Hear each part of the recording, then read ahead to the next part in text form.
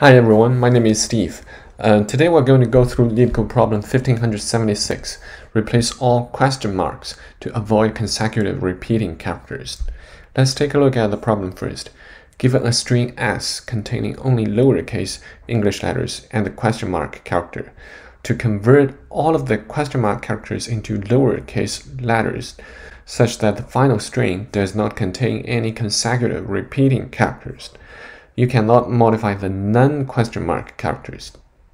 It's guaranteed that there are no such there are no consecutive repeating characters in the given string except for question mark. Return the final string after the conversion. Possibly zero have been made. If there is more than one solution, return any one of them. It can be shown that an answer is always possible with the given constraints. Let's just take a look at the a few examples. Question mark Z and S. It returns AZS. It says there are 25 solutions for this problem. You can use AZS or BZS or CCS, but you cannot use ZZS, right? Because ZZ is consecutive, the same character.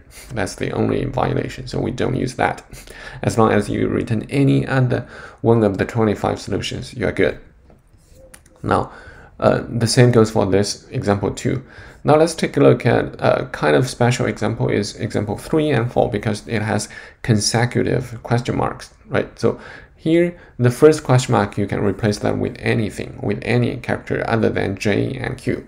But for the second question marks, it has two consecutive question marks, in which case we need to make sure that the one, the second question mark don't collide with the one that we just replaced right before that. That's the only thing that we need to take care of. So if we think about this problem, it's very it's labeled as easy and it's very straightforward as well. So any character inside a given string has how many neighbors at most? Has only two neighbors at most, right? Except for the first and the last character, which has only one neighbor. For the first character, it has only the right neighbor. For the last character, it has only the left neighbor. For everything else in between, it has two neighbors, right? So for two neighbors, you only want to make sure that the one, if that one is a question mark that we are finding a replacement for, do not repeat its left and right neighbors. So if we can think about that, the solution is very straightforward. We can only we only need three characters. We can use ABC or BCD or DCE, right? So we can just toggle between the three character candidates, right?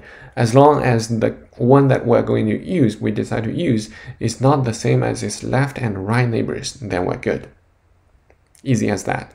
So with that in mind, let's just start writing code, we can just go through this string, pass this string into an array of characters so that for easy manipulation, whenever we encounter a question mark, we'll just check if it has left or right neighbors. If it has both, we'll just make sure that this one that we're trying to replace with is not the same as its left and right neighbors. And in, then in the end, we'll just convert the array of characters back into a string and return, right? Uh, that's just the idea. Let's put the add it into actual code. So first we'll convert this into an character array. Uh, no, it's string to char array. Now next we'll have a for loop start from zero, array length i plus plus. So if we only want to replace anything that is a question mark, right? So if this one equals to a question mark, we want to do this, we want to toggle between three characters. So we can use another loop, just it's just three. So no big deal, zero, one, two, right?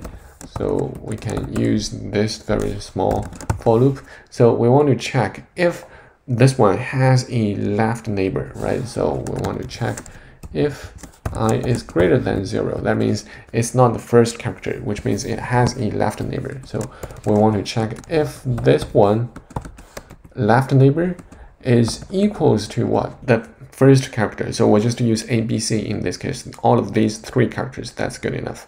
So if we want to check if this one equals to A or B or C, right? If the if the left neighbor equals to A or B or C, we'll just skip it. In this case, we'll continue. Otherwise, we'll check if this one has a right neighbor. So if i is smaller than array length minus 1, then, and also we want to check if array plus 1, that means its right neighbor equals to what? Equals to still a plus j.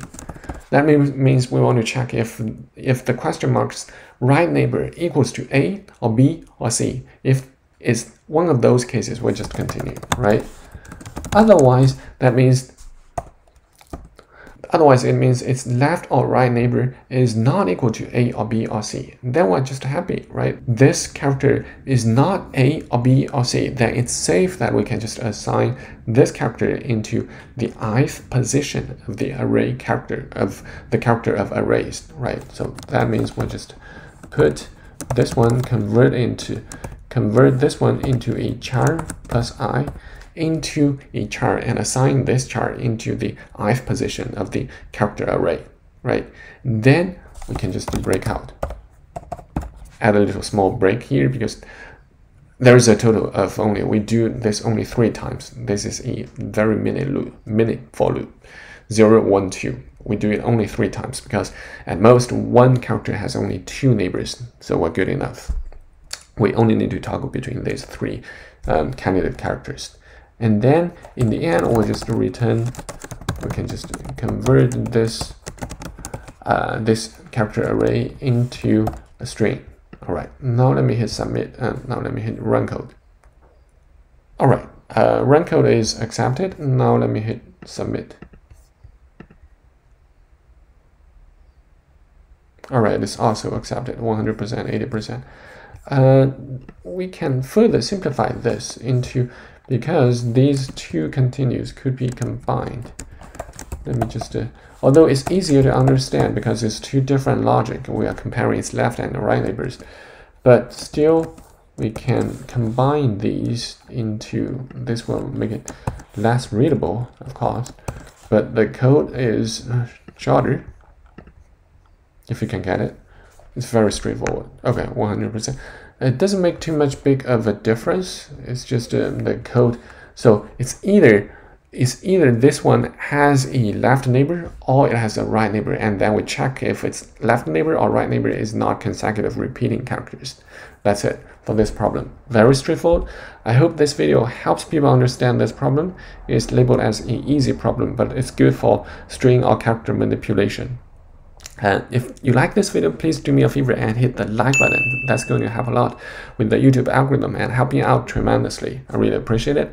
And also don't forget to subscribe to my channel as I have accumulated quite a few different LeetCode tutorials, data structure and algorithms, and also Amazon Web Services tutorials. So I really appreciate it. Hopefully I'll just see you guys in just a few short seconds in my other videos. Thank you very much for watching.